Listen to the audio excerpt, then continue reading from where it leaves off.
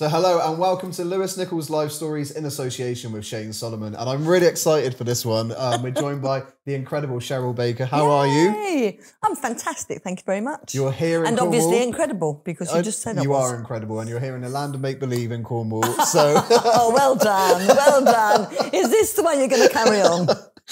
How how was the journey? We were just talking about you actually flew into Newquay. You've never done that before. Never flown to Cornwall. Didn't even know you could, and it was the way to go. And I don't think I'm ever going to drive here again. Obviously, I will. But um, yeah, it was fantastic. Shane flight can arrange you flights anytime. Don't worry. Just message Shane; he'll make that happen. Eastern Airways. Thank you very much. It was great. Um, today's kind of a bit of a life story. So we're going to start from the beginning, kind of your love of music to to where you're at now. My Uh, life story. We are. You haven't got long enough. we'll do it in three episodes. Um, but where did your love of music come from? You know, when you were growing up, did you did you kind of grow up around music with your family? My mum, my mum sang to me all the time. She sang some strange songs, but Like what? oh, like what? Okay, like I mean, creepy songs to be perfectly honest. She sang. I mean, she sang lovely songs and a lot of war songs because I was fifty four. I was born, so it was kind of post war, you know.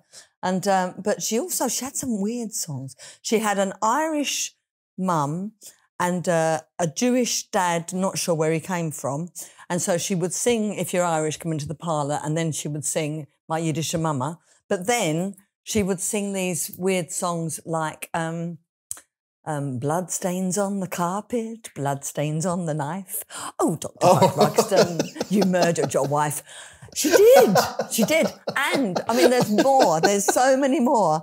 And I, and I thought, where did she get these from? But I've Googled them and they are songs. I'd be terrified. if- I know, I know. And there was the one, you know, he's a little boy that Santa Claus forgot. And I used to go, Mummy, Mummy, tell me that Santa did come in the end. And she used to have to make up another another verse Yeah. where yeah, there's um there was some good stuff. But she sang all the time. She sang all the time. And she was one of eleven and they all used to sing in the pubs because in those days, you know, you couldn't be a singer on telly because there was no telly yeah. because my mum was born in 1915. So, um, so they used to sing at the pub at the end of the road, which is actually what I thought I'd probably end up doing. Um, and and her and her sisters used to get up and sing harmonies and things, and that. And so I think it's all down to my mum, really. And did you always know though that I'm going to do this as a career? Kind of early on, did you just know it was your calling? I knew that I was going to sing, but as I just said, I expected it to be. I knew what I wanted to do. I knew I wanted to be a singer in a band, and I really wanted to win the Eurovision after Sandie Shaw won in '67. But I knew that probably that wasn't going to happen to me because I was an ordinary girl living in a council flat. Uh, I I I knew that probably I would end up singing in the pub or you know just just of a weekend, and I would have a proper job which I trained for at school, which was secretarial. And then look at where you're at now. I mean, you said about wanting to win Eurovision, but a lot of people probably won't know. Before Bucks Fizz, you actually represented the UK in Eurovision with a different band. Yeah, Um, is it Coco? yeah, Coco. So tell us about that. Was it 1978? Eight. So yeah. we all know you for Eurovision, of course, making your mind up, but then you did it before. So what Mm. was your first experience like with Eurovision and Coco? Um, I'm going to take you back further so that you know how I got into Coco. Because it was 1975 and I worked for an Israeli. And as happens with Israel, there was a threat of a war. And he went back to Israel because he was a reservist. And I went into work and it was the company was me and him. That was it. I went into work, typewriter, no computers in those days. And there was a note on my computer from Joshua saying that he'd gone back to Israel. And I thought, what am I going to do? What am I going to do? I can't, I can't run the company on my own. And um, and I, as always, I bought the M- the NME and the Melody Maker to, and I always looked at the situations vacant, singers wanted, and this particular week it said singer wanted for Harmony Band, must have experience. That's the bit I lacked. You know, I had no experience, but I love harmony, and um, I went. I auditioned for this band. At the time, they were called Mother's Pride and I got the job. I don't know how, but I got the job. And I went back into the office on the Monday morning, and Joshua was there. Hooray! He's back from Wow. Israel.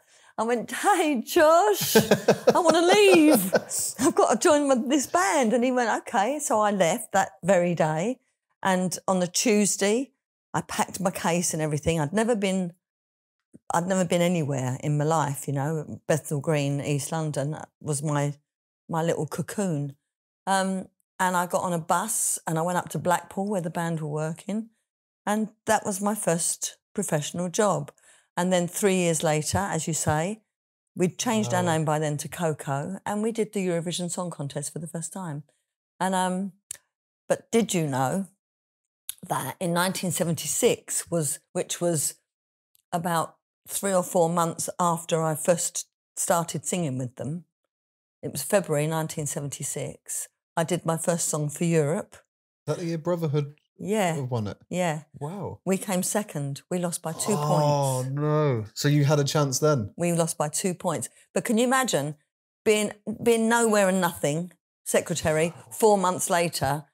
If we'd have won, I wasn't ready. I wasn't ready mentally. I, I hadn't done my I hadn't earned my stripes in the music industry, you know. So I feel like when we did it in '78, I I knew enough by then. I'd had uh, enough gigs under my belt, and Yeah. You know, we did a few tellies. We had a top twenty hit with the song, which was um, what was it called? I'm not. Do you know what? It's not my Bucks Fizz is my thing. Okay, that's Yeah, fine. Coco. I, And the reason I'm asking you is because I can't You remember can't myself. remember. Hang on, let me think about Because that was the only chart hit, wasn't it, as well? Yeah, it was the bad old days. It was called the bad old days. But when you go back to that first time in Eurovision, do you have fond memories? Because I've seen interviews with you where you actually spoke about it in not the most positive way. You kind of said it wasn't your. Nothing was. I don't remember anything being good. I hated it. Why? What was it about that situation? Well, we lost, and we lost. We came eleventh, which was the worst the UK had ever done. So I felt like I'd let Queen Elizabeth down, and uh, and the whole thing was we were kind of not liked because we were British, and we'd been um, tipped to win, and I, I felt there was a lot of jealousy. Um, maybe I'm wrong, but I, I didn't like the whole thing and I'd never stayed in a posh hotel before, and I didn't know stuff. I didn't know what you. I didn't know how to conduct myself. I didn't. I wasn't. I really wasn't happy. I really wasn't happy. The only good thing to come out of that was my brother Colin came over, um, and he was like my ally, if you like. I, I could Yeah. see Colin, and but everything about that that Eurovision brings back bad memories. So I didn't realize you. So you were tipped to win that. So there was kind of like a pressure on you as a group Yeah. to go out there and deliver the kind of um, people thinking you're going to win. So Yeah. that's probably made it even tougher that you're predicted to win and then you get that result. Like you said, it was The, worst ever. Yeah. Yeah. I mean, eleventh now we'd we'd think was a success. we'd, we'd be Yeah. uh, we'd be celebrating that. Um, so let's go from that then to Bucks Fizz. Yeah. So how did that happen? Were you put together especially for Eurovision? Yes. So, Coco used to use a recording studio called Mayfair Sound. And someone else who used that studio was a lady called Nicola Martin. And whenever Mayfair Sound had an event, they would always invite Coco and they would always invite Nicola Martin. So I got to know her. I didn't particularly like her. I was a bit scared of her because she's very much a man's woman Okay. and she's very powerful, um, and she scared me. So, um, but but for some reason she liked me. I don't know why, and uh, and so I left Coco in the summer of 1980. I'd had enough, um, and I went to work for Mayfair Sound, the studio. Wow. I did their, I typed their letters because that's what I trained for. I did their invoices, and I was there to do backing vocals if anyone needed it. And one day, in walked Nicola Martin, and she said, "Cheryl, why are you here?" And I said, "I've left Coco." So she obviously logged this. This would have been probably maybe September, October time, and just before Christmas of 1980, I had a phone call to say that she'd um, she wanted me to be in this band called Bucks Fizz. But, uh, to, to be honest, the first time she rang, she spoke to my mum. I was out, and when I got home, she went. My mum said, "Ree, uh, you know, my middle name's Rita. Ree, um, lady rang you, Nicola Martin." I went, "What's she want?" And she went, "Oh, she didn't say." I went, "Oh well, she'll have to ring again then, won't she?" Because she scared me. So uh, I waited. She rang. She rang again. I still wasn't in. But the next time there was a phone call was from her partner Andy Hill, who wrote Making Your Mind Up, and I answered the phone, thankfully. And he said, I've written this song. Nicola says you're perfect for the band. Do you want to be in it? And I went, Yeah, all right then. That's inc- so. It's kind of a flashback from when you said you were originally a secretary, then you got Coco. Uh, no, you r- went to do the song for Europe in '76, and then the same situation in 1980. You were a secretary, Yeah. and then you get that opportunity. Yeah, I've never put of- those two together, but that's right. That's that's incredible. When I left Coco, I thought I'll just go back to having a proper job. Yeah. So, Wasn't to be though. what was it like when you met your other band members for the first time? Did you click straight away, or were you unsure about some Well, of them? I, okay, so it was the 7th of January. I knocked on the door of Nicola's house in Fulham. She opened the door and there was a there was a, a staircase right in front of me and coming down the stairs was this beautiful bloke. He'd just got out of the bath and he had a white towel towel draped around his just hanging on his hips. And I, oh, I thought he's beautiful. It was Mike Nolan. Wow. And Mike and I just clicked from the very moment that we ever first met. It was it was fantastic. Honestly, I felt like I'd I felt like I had another brother. I've got two brothers now. I've got three with Mike. Um, but when I first met Mike and uh, Jay and Bobby, it was four days later. It was the eleventh of January. She Nicola had found uh, Bobby through the stage um, newspaper. He answered an advert, and Jay came through a dance agency. Mike was already he was already part of Bucks Fizz because he did the demo.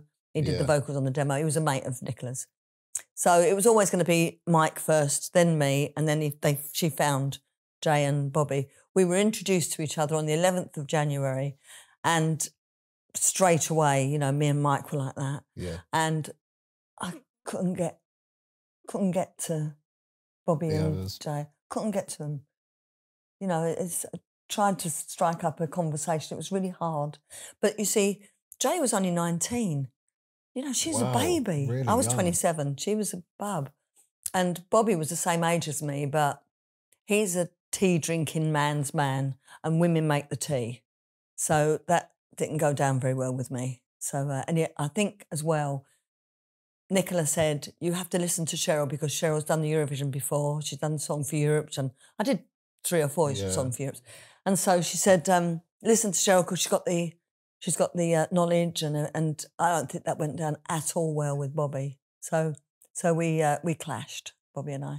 What's incredible, and I'm going to talk about it a little bit later on, because you you look at you and Jay now, and it's like sisters. You know, I, I see you in interviews, and you have such a close connection. But back then, it it wasn't instant.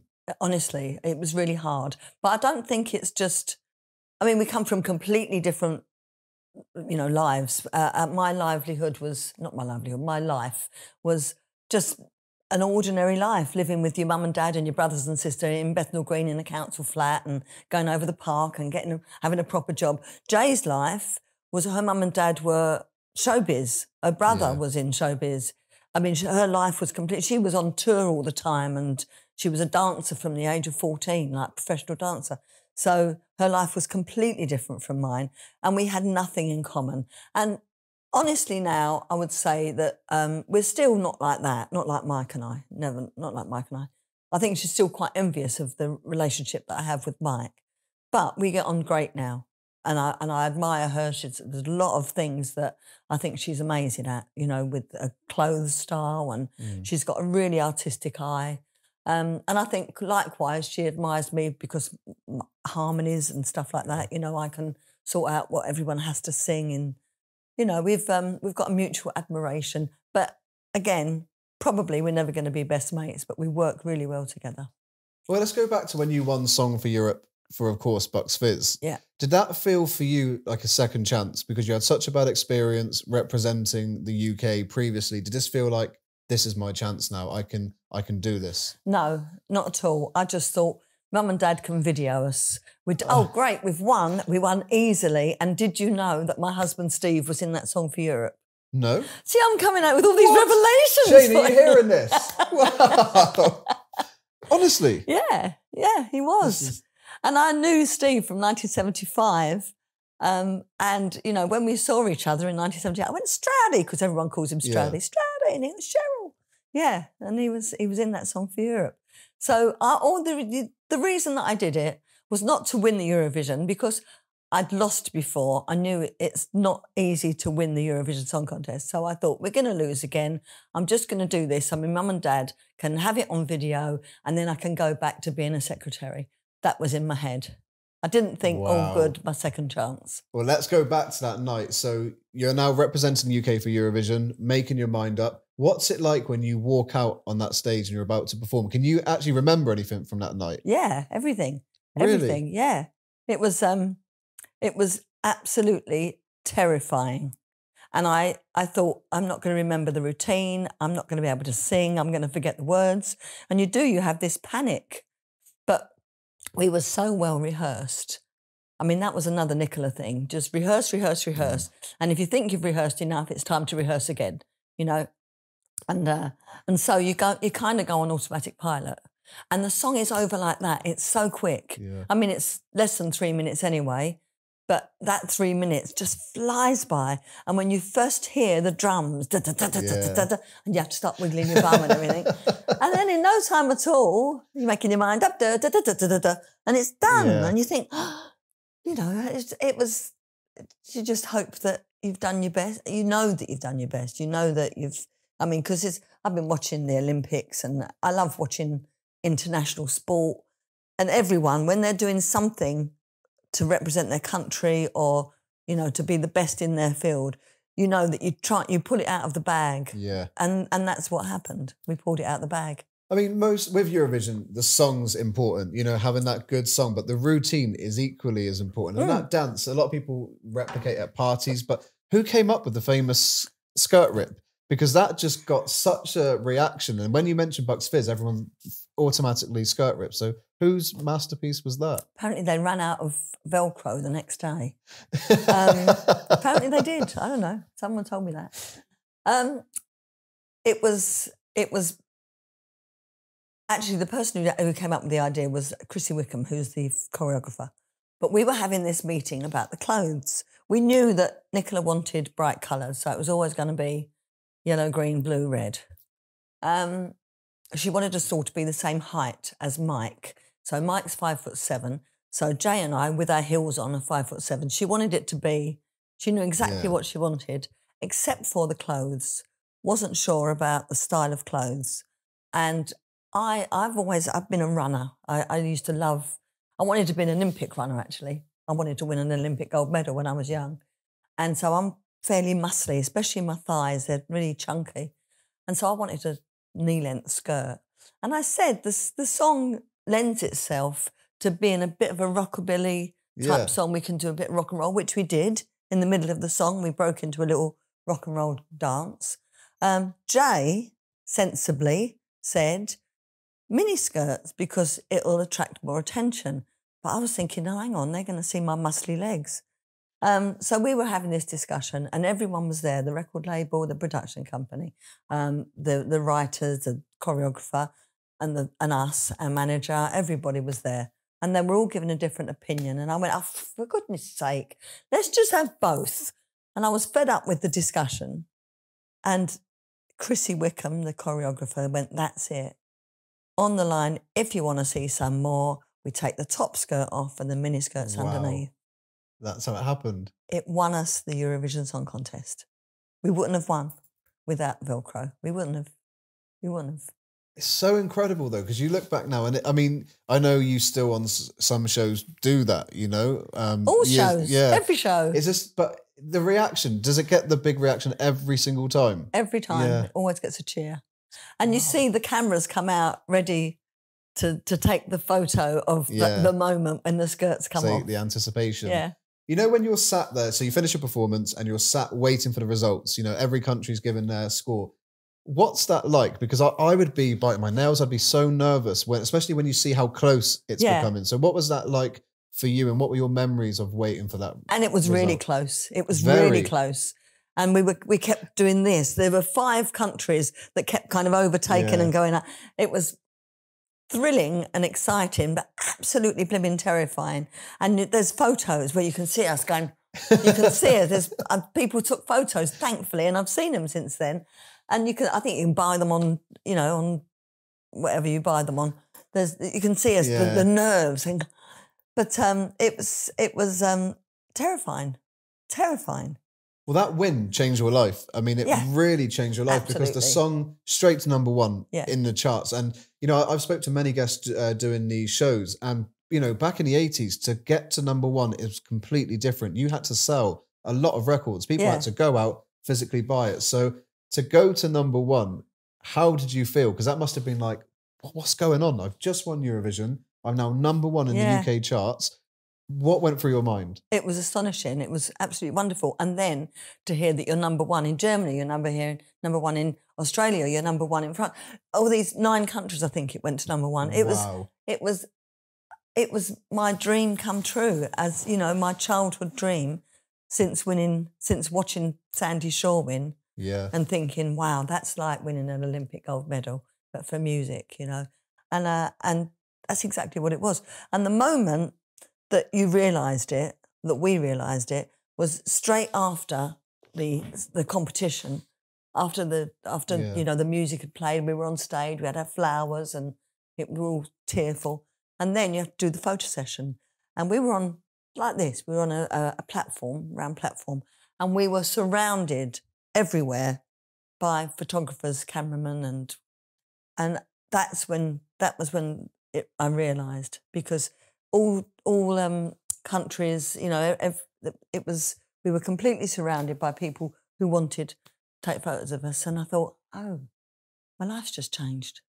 And it carried on. The Yeah. photographers, the attention, the being in the front page of the magazines, the Yeah. papers. Um, my favorite Bucks Fizz song is "The Land of Make Believe." I just love it. I love the dance routine because you're actually in the bed in the beginning of the video, aren't you? And then you run through, and then you, you go onto the yeah stage. it's weird i'm in i'm in bed but i've got a mac on what's all that about um, but again, that got you another number one single. So you know you've got the success of making your mind up, and then bang, another Yeah. number one. You know, did that feel surreal in a sense of okay, this is continuing now. It's not just a little phase with Eurovision and the song. We're actually continuing this momentum. Well, the second single was called Piece of the Action. It went to number 12 and it went silver, which meant it sold more Yeah. than 250,000. 250,000. And then the third single was um, One of Those Nights, went to 20. So I thought, ah, here we go. It's the downward spiral, you know. And then Land of Make Believe. And that was within one. twelve months as well. All three Yeah. of them. It's Yeah. incredible. So to go back to number one was fantastic, especially because it was around Christmas time. So unfortunately, we didn't quite get the Christmas number one. We were, um, it was "Don't You Want Me," was the Christmas number one, and then we knocked it off in the new year. But um, that would have been great to have been the Yeah. Christmas number one. But the beauty of being a, a big hit like that, that we were a very we were a very visual act because we did all the dance routines. So we had loads and loads of TVs, and we had our own strip cartoon in Look In magazine, and and um and then the following Christmas, by then we'd had another number one. Uh, we were asked to do um, the Christmas Top of the Pops, which was second only to winning Eurovision. To be on the Christmas Top of the Pops was really up there, you know. And and and the BBC pulled all the stops out. They gave us, the, they made us these amazing costumes. They they asked us each of us what we wanted to be, and I wanted to be a fairy, and um, and so they made this, this beautiful fairy costume, and they put me on wires, and so in the middle of the dance routine, Run for the Sun, I flew. that was great. It was great. I loved it. You mentioned that another number one, you know, and of course, my camera never lies. Yeah. Um, a- again, three UK number ones within 12 months. Yeah. It was starting to beat records, and you guys were being spoke about in a completely different way. Yeah. But that song, a lot of people, when you speak to them, it's the two, you know, Land of Make Believe and uh, Making Your Mind Up that they know. My Camera Never Lies, a lot of people know, but it's not as well known as the other two. It's one of those songs that when you hear it, you go, "Oh, that's that was, right." yeah. Yeah, yeah. In fact, a lot it. of our a lot of our singles are like that. We don't get played enough on the radio. Well, I, I've actually, we were trying to do a little dance routine earlier. So if you saw us before you came, um, what I wanted to talk to uh, to you about is obviously after that, and you had the chart success towards the mid 80s, the chart success slightly started to decline. You know, you've gone from the three UK number ones, and there was a decline.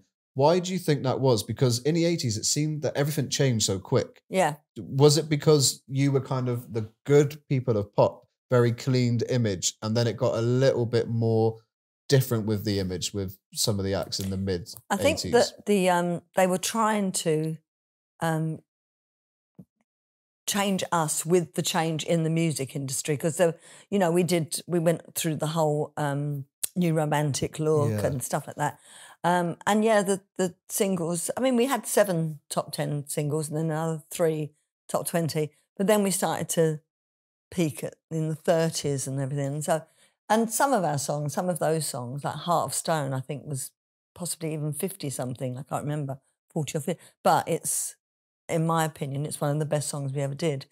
But also, you have to remember that a lot of the people who bought our singles in the early 80s were the 8 to 12 age group.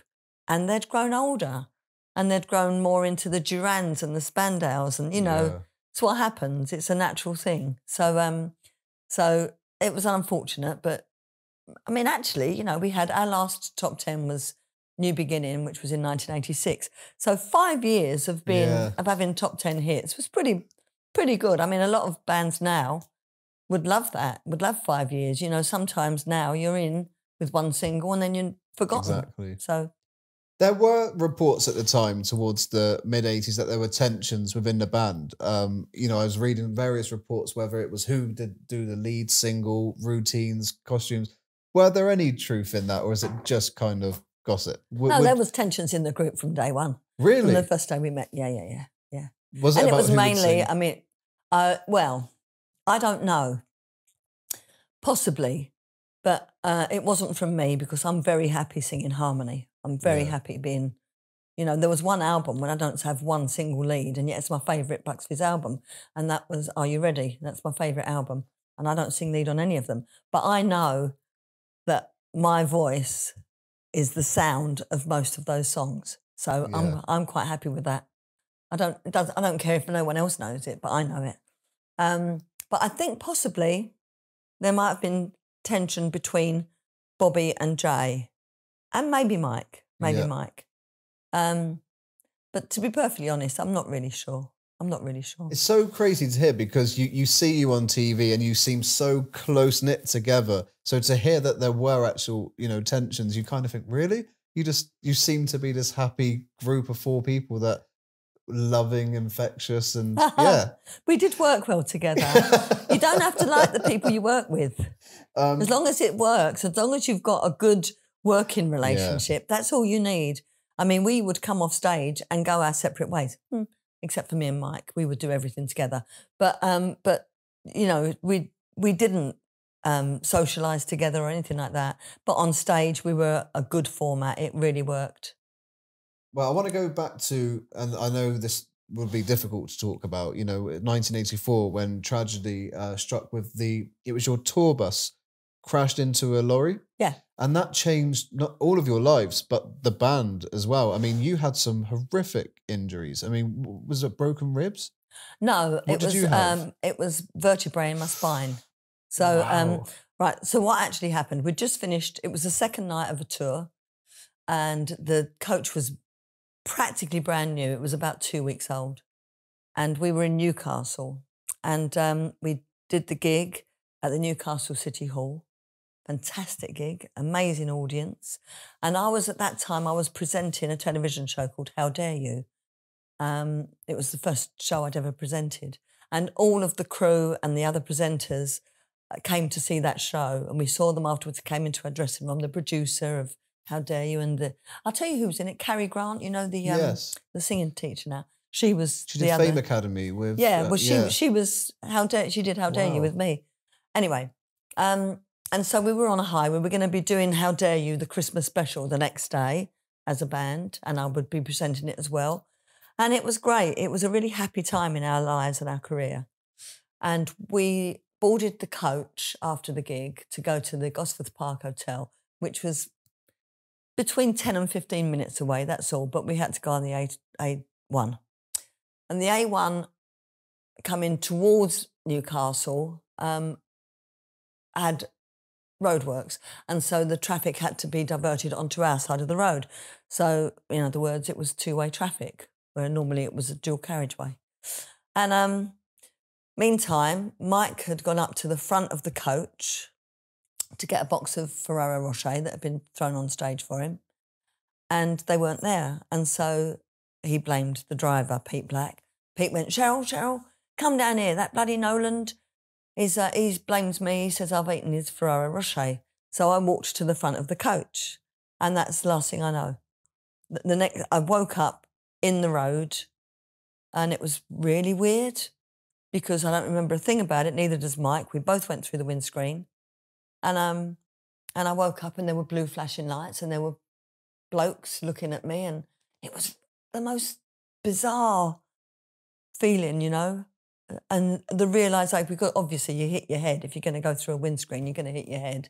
I don't know how hard I hit the ground, um, but the first thing I did was move my legs to make sure that yeah. I could. Um, and and Mike actually at that time because I broke vertebrae in my back, and I also had, had a little mini skirt on and a little pair of boots, and I just took all the skin off of this leg and off my back. And so when I went to hospital, they had to put a cradle over me so that nothing touched me. Um, and Mike was not so bad, not so bad. He he was he could walk, which I couldn't. And the next morning he came in to see me, and uh, and we both looked a terrible mess. I mean, you don't go through a windscreen and come out of it looking lovely. You know, I was. My sister said I looked like Quasimodo. I was I was bruised all over, black eyes. I put my front tooth through my bottom lip. Um, my hair looked like I'd backcombed it with blood and glass, as did Mike. Mike looked the same. And I went, Oh, Mike, if your fans could see you now, and he went, Oh, don't make me laugh. He said, I've got a terrible headache. And then he slipped into a coma shortly after that and had to have a blood clot removed from his brain, which changed him completely. I mean, we, we couldn't work then, obviously, for months and months. And to be perfectly honest as well, Jay wasn't happy at that time. She hadn't been happy for a while. And it was for her, it was time to leave. So we did, I think, one more gig with Jay uh, it was three or four nights at a, at a, nightclub that we were booked to do, months after the coach crash, you know. But that was her time to leave, so she she left shortly after. The, the thing, you know, going back to to Mike, you know, it was so touch and go. You know, yeah. it. I saw the press reports, and there are rumors that during was it one of the operations that he actually died and then came back to life. Um, you just said about, about you and Mike, almost like a brother, another brother to you.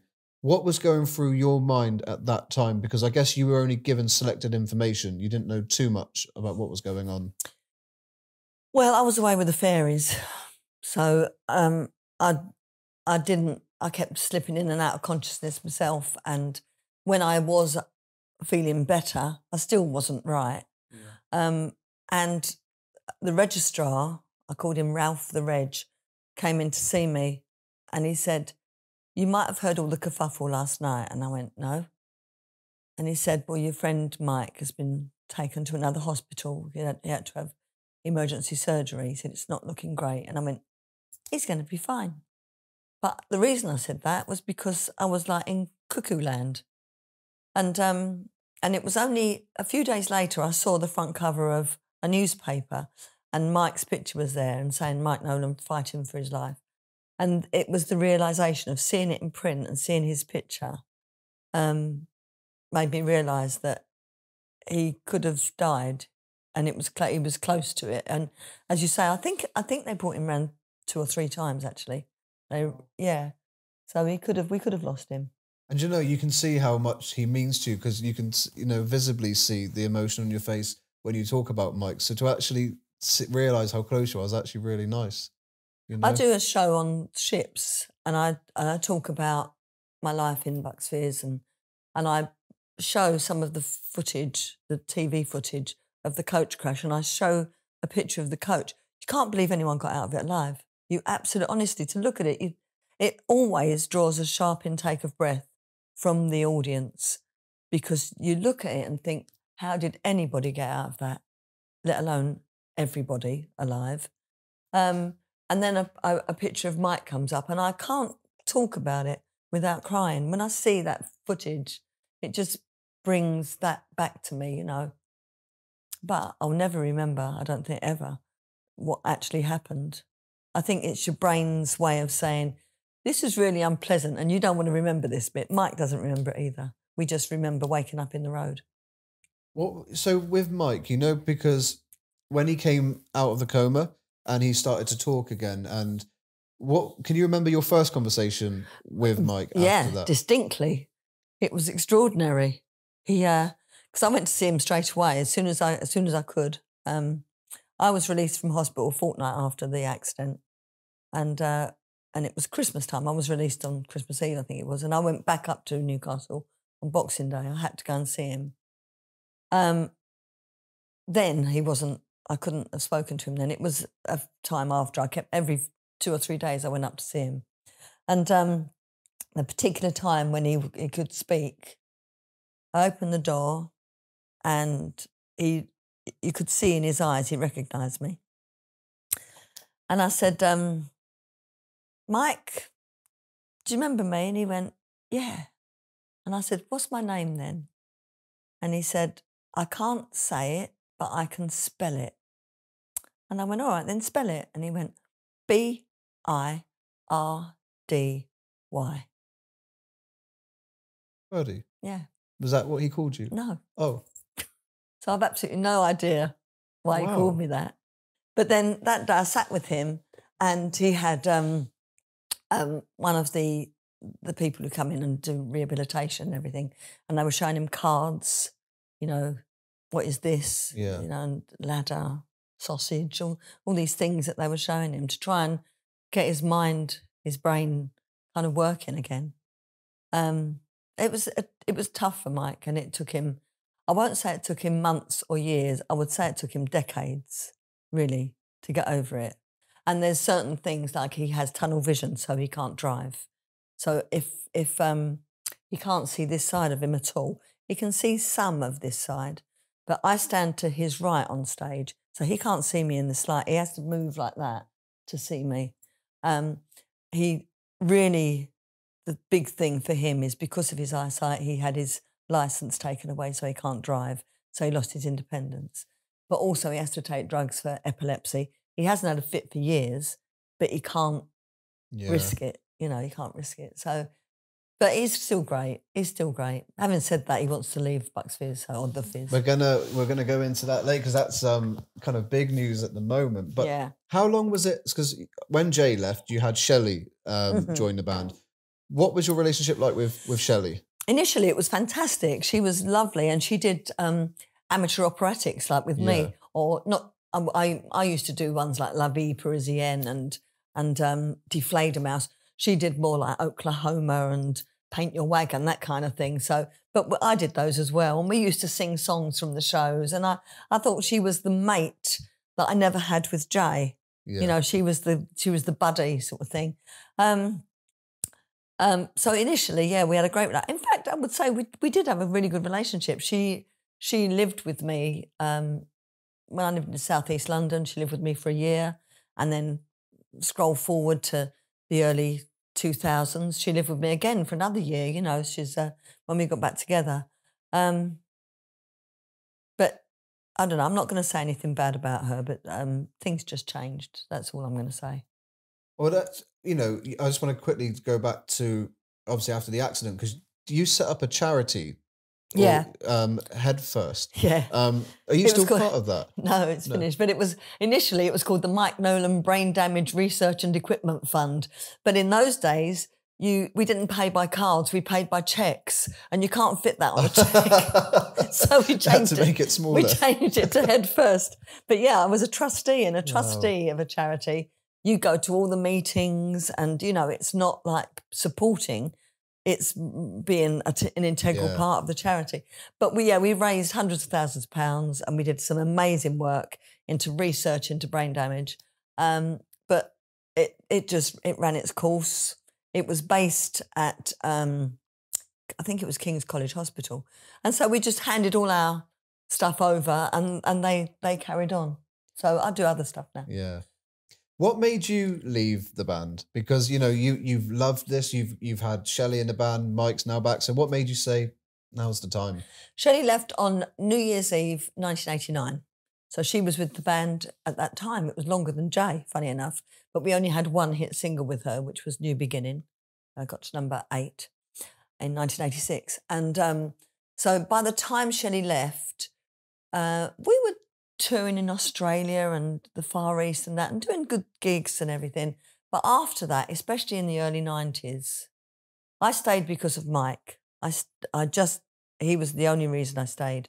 At that time, uh, I mentioned that I did How Dare You was my first Yeah. presenting job. By the time the late 80s came around, I was doing telly all the time. I was doing um, uh, Record Breakers and then lots of other shows. And I was always being asked to be a guest on different shows. I just, I think I was flavour of the month for a while.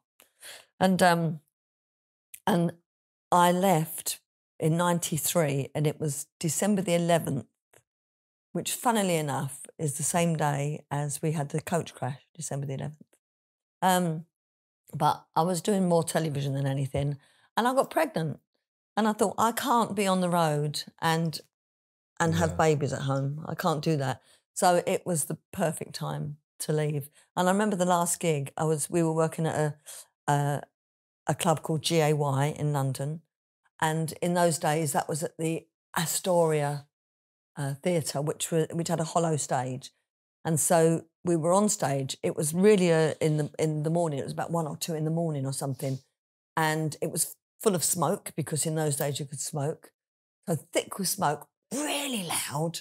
And because of the hollow stage, the bass was resonating through my body. And I thought, what am I doing to my unborn babies? And I couldn't wait to get off the stage and go home and think, that's it, that's enough. And just do TV. Even on my passport, um, you used to have to write your profession. And I wrote TV presenter. I wasn't singing anymore. And that, like you said, your career was huge with presenting. I Yeah. mean, you you went on uh, Record Breakers, and that was for a long time. You know, uh, 11 series. uh, which is incredible. Um, I know we were talking to Shane before we did this, and he, wa- you know, he said, "What was Roy Castle like to work with? Mm. You know, what was your relationship like with Roy? What was he like as a person?" he was absolutely wonderful. Um, he's the bloke you want next door. He's your favourite uncle. You know, Yeah. he was the person you could confide in. In fact, when I got pregnant, because I had to go through IVF to get pregnant, um, after my husband, he was the first person I told. He was, I, I loved him. I loved him. He was just a wonderful man and his lovely wife as well. They were, he was such a lovely man. And he always had time for you. He was never number one. You know, he always put you first in conversation and everything. He was great. Thrilled and honoured that I worked with him. What was your favorite memory when you think back to your time on Record Breakers? What stands out as that was that was the one Oh, for me? wow, that's a hard question. I know over that many series, there's going to be a lot, but is there one that so you many. just Well, I suppose the records that we broke, um, and I remember in particular a couple that we broke. Um, one was the longest rope slide, which was from the top of Blackpool Tower, and Roy was terrified of heights, and we had to the night before, we had to go to the top, and uh, and stand on this tiny little platform, and he was shaking. He couldn't Oh. speak. And I really remember that. And the way that he combated his fears was by to actually do what he was afraid of. And um and I thought, oh, he's not gonna he's not gonna manage to do this rope slide. He won't do it. And and he was going, oh, he was shaking, and his voice was quivery, and everything. And I thought, what are we gonna do? And I spoke to the producer, what are we gonna do if Roy does? And he went, well, you'll have to do it on your own, Cheryl. I went, oh, okay, it's fine, it's fine. Next day, it was like he was a different person. I, he didn't sleep the night before, you know, he was so nervous. And uh, he put the harness on the next morning and he went down that rope down to the promenade in Blackpool And bearing in mind, this was a world record. This was the longest anyone had ever done. He went down it singing, "Oh, I do like to be beside the seaside," and I went down going, so he combated his nerves pretty Yeah. quick. and and likewise another one, another record was wing walking. I tried it, but went up for fifteen minutes, standing on top of a of a plane, thinking, "What the hell am I doing? I don't like being in a plane, let alone standing on top of it." He did it. He did it, and Wow. he won. He did the world record for the longest. And yet, this man is afraid of heights. Incredible. He was. He was incredible. Um, before we came in earlier, we were talking about obviously you hosted your own show at Eggs and Baker Yeah. um, for free series, which was like music Five series. five series, and it was cooking and music. Music. Yeah. It was my two loves. Who came up with with that? Was it put to you, or did you come up with it? No, well, I did a show called um, the Saturday Picture Show in 1985, I think, with Mark Curry, live Saturday morning program. Which the Saturday morning programs were huge back in the 80s, weren't they? And um, and I and we sometimes we I, I remember once making a train out of biscuits and icing. And I and I put the icing on and I stuck all the biscuits together and I went, and there it is. Woo woo choo choo choo choo. And I went like this and moved the train along and it all fell apart. And so did I, fall apart laughing. And so they thought, right, we're going to do some more of this. And then they gave me a um the following year, they gave me my own little 15 minute thing called called Cheryl's Out to Lunch. So that was a cookery thing. And then they, they liked the fact that uh, it, it seemed to be quite popular. So they gave me Eggs and Baker. Eggs and Baker, the name came from um, Ed Pugh, who was the head of children's in those days. And as I said, for five years on a Saturday morning, sometime, I mean, one year, I think it was an hour long. And we would go, this was children's telly, Saturday morning.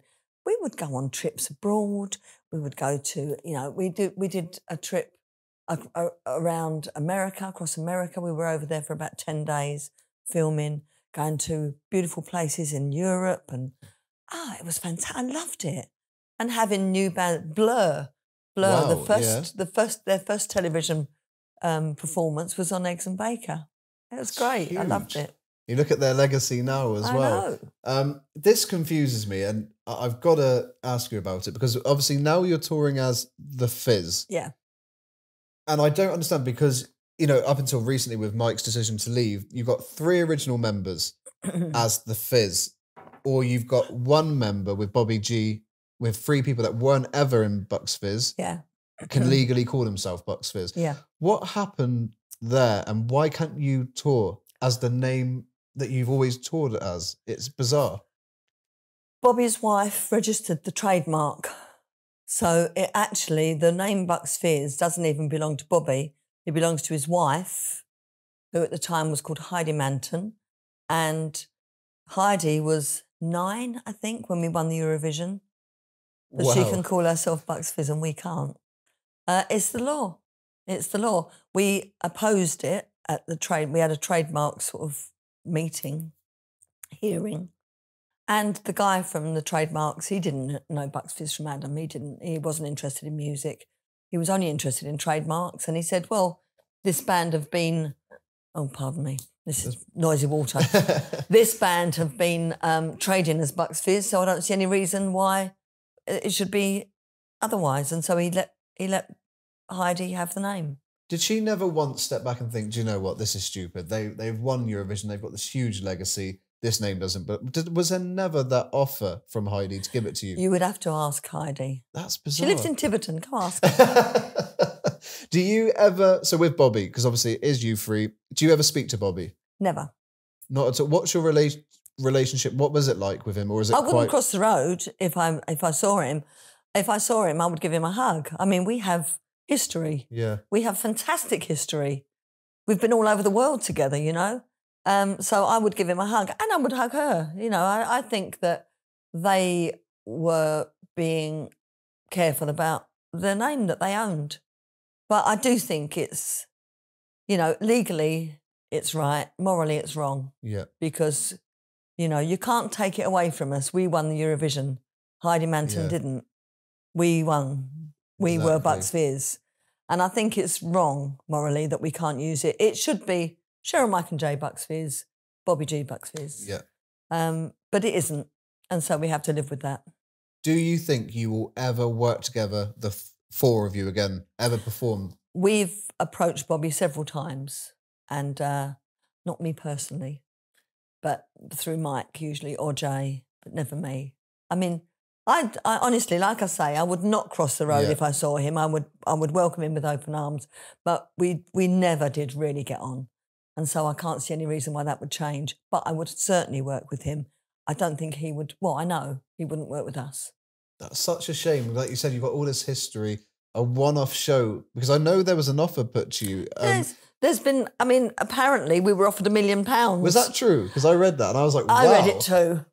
If So I was I Bobby G. I'd be ringing you up and like, get me on that stage. there's a million pound. Yeah, I know. I, I it, apparently it was true, but I don't know. I don't know.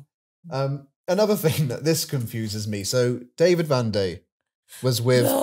I'm sorry to do this, but I mean he was in Dollar, so uh, an '80s duo, um, and he did his thing with them. He then briefly mid '90s worked with Mike as Bucks Fizz, He worked with Bobby first. Bobby, and then and then he left Bobby Then- after yeah. a dispute, and then went to Mike. Yes. But he then, after not working with any of them, went on, on and toured under Bucks Fizz. So then you've got four non-original members of a band touring as Bucks Fizz.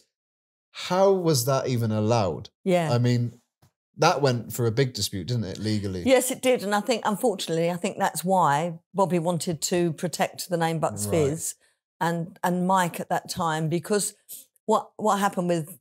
Uh, so Bobby asked David Van Day to replace Mike because at the time, a lot of people thought that Mike and David looked very similar. So it, Yeah, it seemed a good hair, idea. the- yeah. yeah. Um, but he didn't get on at all well with Bobby, and so he left.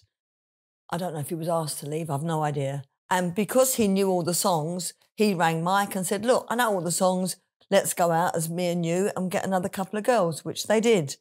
But he used to hold the purse strings, David Van Day. And Mike, unfortunately, it's never been great with money. Plus, after the coach crash, it was very easy to pull the wool over Mike's eyes. Not so much now, but certainly then. Even though it was a good few years later, he still wasn't quite right. And he trusted David, but David was untrustworthy. And eventually, Mike discovered through his accountant or somebody that he should have had a lot more money than he had. And they looked into it and they asked to see the books and realised that they had been cooked by David Van Day. So Mike took him to court and Michael won. But David Van Day made himself bankrupt, so he didn't have to pay a penny back. Then Mike had to pay all the court costs. Mike lost his home because of it. Um, and so that's why I hate David Van Day with a vengeance. I really do. I know it's a strong word, No. But what he did was unforgivable. Um, and so I think that's why David, uh, Mike, when Bobby said he wanted to, he wanted to start Bucks. Fizz, you know, and keep the name. Mike said, "You have it. I don't want David Van Day anywhere near it. It's not right. You know, you have it." And and um, unfortunately, that that's the way it was. Have you ever been in a situation with what you do and going to various events that you've been in the same room with David? Yes, How did that go? twice. Did you say anything, or was it the look? I had coffee, hot coffee in my hand, and my initial response when I saw his face was to throw it over him. Thankfully, I didn't. Honestly, it would have scalded him, but that was my initial reaction. I just kept out of his way. And I said to the producer, don't let me anywhere near him. And they didn't, they kept us apart. The next time was on Coach Trip. Do you remember that television Yes, program, oh Coach Trip? God, yes, I remember. Yeah. I remember this. So I didn't know who was going to be Oh. in that particular coach trip. And I had to go down this slalom thing and then take my helmet off and then see the other um, celebrities that were there. And um, and I saw him in the middle. And I my heart sank. And I, I went to each and every one of the, those celebrities and gave them a big hug. And I just skipped by him and went on to the next one. And it was so great because they had a picture of his face and he went, he put his arms out to hug me. And there's no way I was even going to touch him with a barge pole. Um, and then we had to we had to vote people off, and they were all going, "Oh, he was is partnered with Tony Blackburn, who's adorable." He's so nice, bless and him. uh, and so they were saying, "Sorry, Tony and David, we're voting you off. Nothing personal, but it's because you didn't quite do this right, or you didn't." And then it got to me, and I went, "Everything personal. I can't bear you." And it's worth a look. Don't hold if you back. haven't seen it, have a look on YouTube. It's worth a look, honestly. Well, Cheryl, surprise. Uh, let's welcome. I'm Honestly. joking. Honestly, um, we spoke earlier about the recent news that came out that Mike, who, um, like you said, is like a brother, is leaving yeah. the Fizz, and you're now looking for two new members. Why? Why is Mike leaving now? He's had enough. He's absolutely had enough. And he's been moaning about it for the last three years. Actually, to be honest, it's since lockdown. Yeah. After lockdown, we had gigs that we were going to do. And he rang me and went, Shell. And his voice was really soft, as if he'd been troubling over it, you know. And he went, Shell, I don't think I want to work anymore. And I went, Oh, Mike. I said, You, you know, you're contracted. Oh, but Shell, I don't, I don't want to. I don't want to. Anyway, since then, you know, he enjoys the gigs. He loves being on stage. He loves the camaraderie. He hates the journey. And Mike lives way down in Broadstairs on the south coast, southeast coast. So even to get to me takes him an hour and a half on the train. He can't drive, as I mentioned earlier. So he gets to me, hour and a half. I pick him up. And then we drive to the meeting point where we see our tour manager. And then we start the journey to wherever the gig is. 'Cause sometimes Mike's traveling for like eight to 10 hours. And especially if we're doing Skegness or Minehead. Yeah. Um, That's a you know, so it, it's it's too much for him. And then we get back to my house, and it's too late for him to get the train home because it's you know the last train is at eleven or whatever. So he has to stay over. So it's he's just had enough, and I think he's really looking forward to his last gig.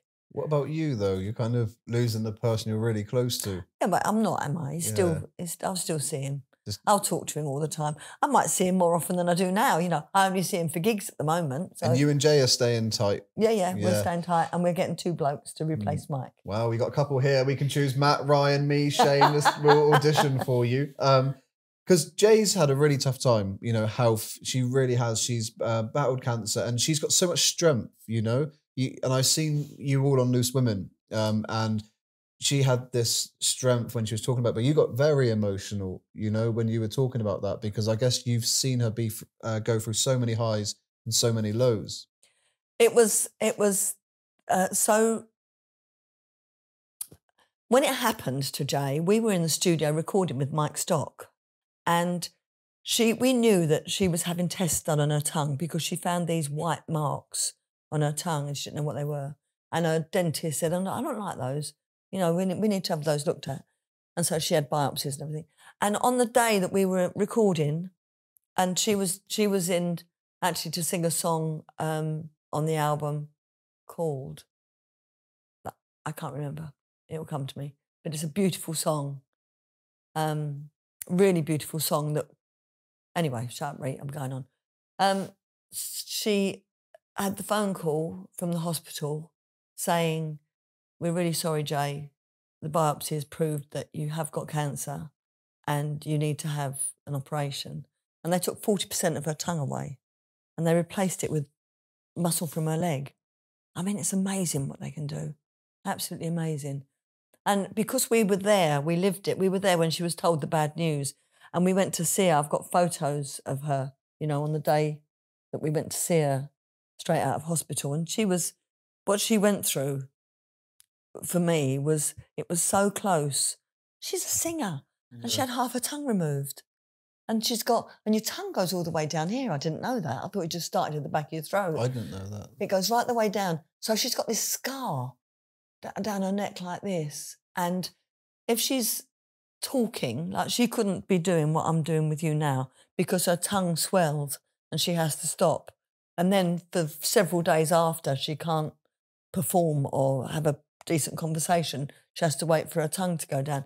And it's just the reality of what happened to her. And we were with her. And, you know, it was, it does upset me. And did you know as well that her daughter had meningitis? So it was a really tough few years. Honestly, yeah. her daughter that got me more than than than Jay because you know I've having daughters myself, and they were funny enough nine years apart, but they were born on the same day, the twentieth of June. Wow. And um, and to see her daughter, and I mean, that absolutely broke my heart. That was horrific.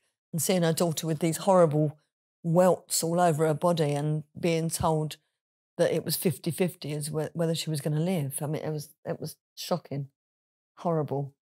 But you're together and you're still doing your thing, and you know, yeah. I love that, and I love seeing you know you're on TV a lot now. I mean, more than kind of before. I'm seeing you on all the morning shows talking about the fizz. I, I mean, me and Shane were excited about the new members because we've rehearsed our routines and we're, well, you're going to be getting a text from us very soon. Um, but I've got to talk to you because I'm a massive fan of EastEnders. And then last year, there you are oh, in EastEnders. And I was like, wait, how did that happen? Wasn't because it was such a cool storyline.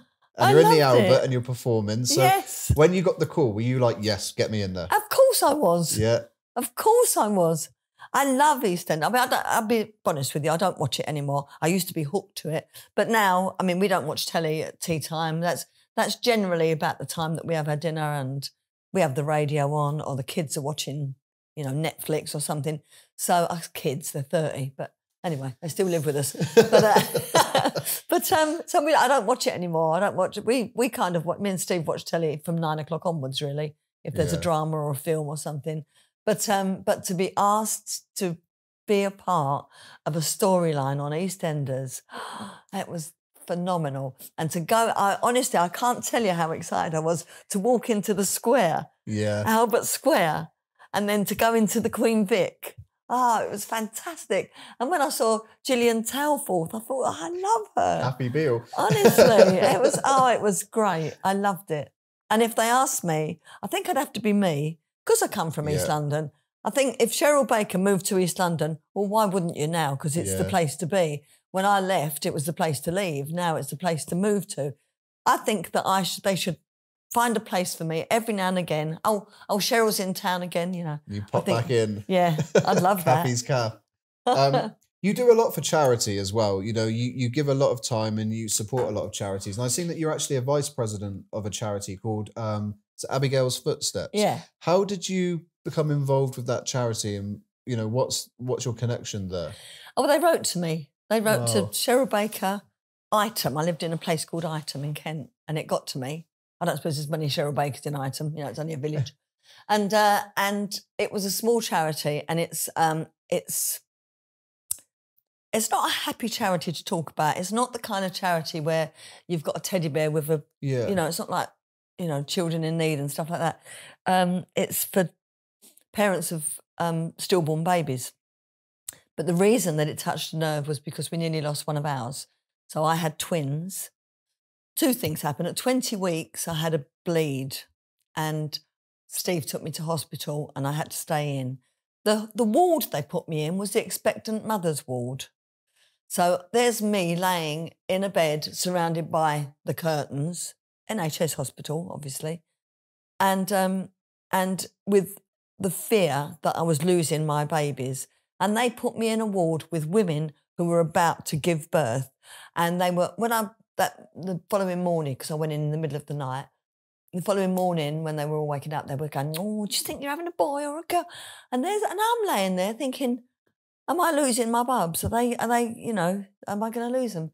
So there's things that they do that are so completely wrong, you know, in hospitals. You can't put a mother who's possibly losing her babies in with parents that are in with women who are just about to have theirs. It's just so wrong. Anyway, the other thing that happened was when I did give birth, thankfully I didn't lose them at 20 weeks. When I did give birth, one of them wasn't breathing. So she had to be taken to intensive care. And she was, everything was being worked for her, you know, they kept her alive. And now she's fine. But at the time, if there hadn't been a, they call it SCBU, Special Care Baby Unit, if there hadn't been one there, she wouldn't have survived. So we were, you know, we had twins. It could have been that we only had Yeah. one. And so uh, I saw, you know, this this couple, David and Joe, wrote to me and said, we lost our baby. She was born asleep, they call it, born asleep. And I thought I could have been that parent. You know, me and Steve could have been those parents. So I wanted to help them. They just did one tiny thing, one little fundraiser to raise money to buy a cold cot. It's a refrigerated cot so that the parents can spend more time with their baby, making memories basically, photos, dress a baby. I know it sometimes sounds a bit strange, but parents deal with things in different yeah. ways, and it meant they could spend longer, maybe take footprints, things like that, handprints. Um, and so I helped them with that little fundraiser. That charity, since then, 15 years ago, has grown and grown and grown. And now they fund whole units in hospitals wow. where parents can, it's like a suite. They can spend time with their baby. They can, um, they buy cold cots for hospitals all over the country. They fund um, training for midwives to make sure that things like happened with me don't happen yeah. again, you know. Um, and so I'm super proud to be a part of it and to support them. Well, we're going to put the link onto the video as well Thank so you. people can uh, make a donation and see how they can um, support. But Cheryl, honestly, this has just been, there's so much that you've done. I mean, I was looked at Dancing on Ice. I mean, I don't know, why did you say yes to Dancing on Ice? Because I'd be so nerve wracking. I mean, those bumps and falls that people well, when I went for my audition, because I had to audition. You audition for Dancing oh, on yeah, Ice? Absolutely, yeah, everybody has to. Um, yeah, when I went for my audition, there's a guy called Mark who was one of the um, one of the back sort of back what do you call them? Anyway blokes that teach you how to skate yeah. and everything. And uh, and he was so fabulous and he knows I adore him. I really love him. He's a he's a wonderful man. And um, he was the one who took me around the ice and I felt completely safe and secure with him and and I was I couldn't wipe the smile off my face I was having such a great time why wouldn't I want to do dancing yeah. on ice? And when they offered it to me, I thought, fantastic.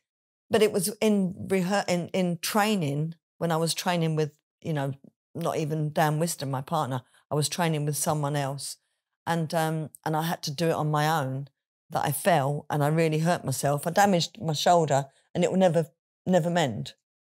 Um, and so that was the, the fear then that and suddenly I hated skating. But I loved doing Dancing on Ice. I loved Dan Whiston, who was my partner yeah. in it. I adored him, still do to this day. And uh, and the whole, I loved everything about Dancing on Ice except for the skating. Which is a bit unfortunate. Um, What's next for you now? Obviously, we know you're still touring with the Fizz, but is there anything else that you're working on that you can kind of tell us a little bit about? I'm writing Mills' biography, and I will finish it. I will finish it. I will finish it. I've done. I've practically finished it. So close. Honestly, my mate. I went for dinner the other night with a mate, and uh, she went. "Yeah, I get up at half past six every morning. I make myself get up at half past six to work on my book." And I thought that's what I want to do. Yeah. Actually, no, I don't want to. That's what I ought to do. Yeah. You but going to? No. well, Cheryl, thank you so much. This has honestly been one of my favorite live stories that we've done yet, honestly. So thank you for spending your time to be so open and so honest um, about and go your... on a bit. No, I do go not on a at bit. all. This has been incredible. Thank you. That's a pleasure. Thank you very much, everyone. Yay! Thank you so much.